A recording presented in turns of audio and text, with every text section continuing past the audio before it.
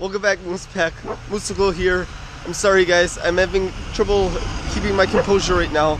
I was supposed to be doing a different video, but I couldn't because my best friend, Mr. Carrot, was murdered. And it was by none other than the evil fruit monster watermelon and his banana accomplice. So now we have no nothing to do. We have to take our carrot and avenge him. You can eat Mr. Carrot now, Daisy. This one's got marker on him. No, you don't want him. So, guys, we are going to take out all of our anger on the evil fruit monsters with our sword that we made. And that's right, guys. If you want to see a new kind of weapon that you want me to make, please say so in the comments below. I think next time it's either going to be between aluminum knuckles, maybe a bow and arrow is what Lady Moose says, or uh, I'm thinking like a hammer. So, guys, we're to pause the video quick and then get up the evil fruit monsters. Okay, guys, up first with our new sword, we're going to test it against Evil Banana Man. We're to see how this goes.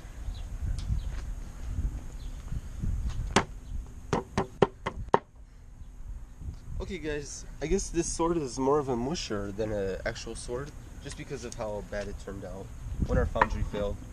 That's okay, we're going to see how it does against the evil watermelon monster now. Okay, watermelon Oh. monster, are you ready to meet my homemade aluminum sword that all of you guys can make at home by just watching the video? Here we go. Three, two, one.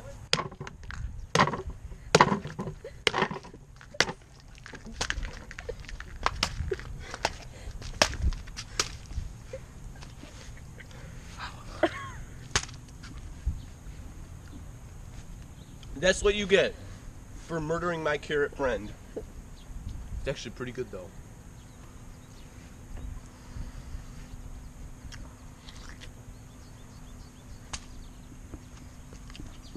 Well, thank you guys again so much for watching me make this sword and testing it. The next time, as I said, we're going to make another weapon probably in a few days once we get that new foundry because the other one failed. Just say so in the comments what kind of weapon you want me to make, and I'll do it, okay? So you can press the button on top once, and I'll see you guys in the next episode. Thanks for watching. That's right, Daisy. You eat evil fruit monster.